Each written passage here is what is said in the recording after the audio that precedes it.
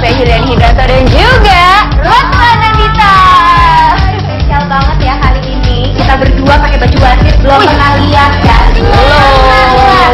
Jaga deh, kasih tahu pasti pada penasaran kita mau ngapain ya nih. Jadi hari ini kita akan syuting OBB untuk GSI hari Sabtu. Oh hari Sabtu kan ada lagi? Ada lagi.